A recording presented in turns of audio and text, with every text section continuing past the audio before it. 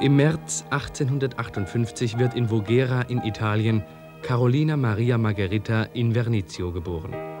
Obwohl sie im Lauf ihres Lebens weit über 100 Romane geschrieben hat, ignoriert die Literaturgeschichte ihren Namen.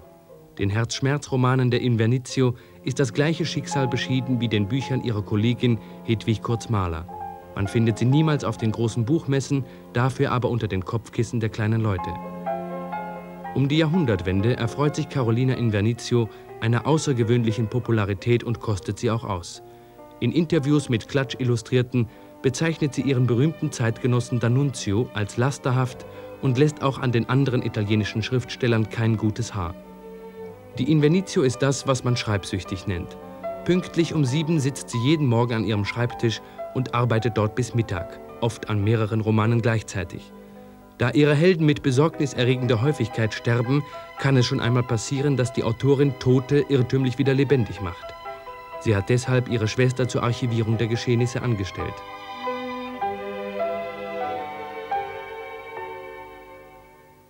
Carolina Invernizio ist von ihren eigenen Werken stark beeindruckt.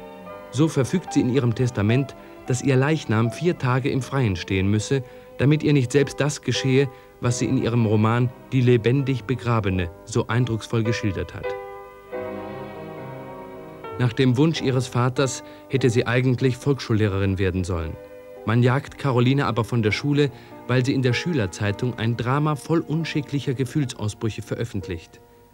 1877 bringt der Verleger Salani ihren ersten Roman Rina oder Der Engel der Alpen heraus.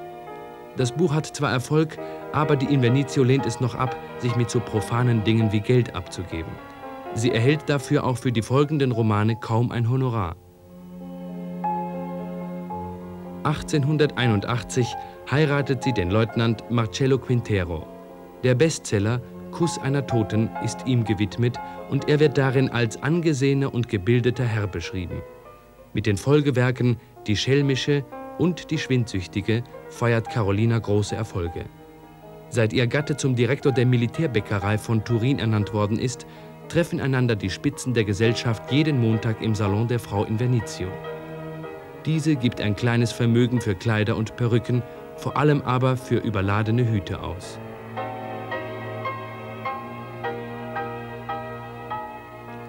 Um dem Trubel der Großstadt zu entgehen, übersiedelt Carolina Invernizio schließlich mit ihrem Gatten nach Cuneo. Dort stirbt sie 1916 an Lungenentzündung.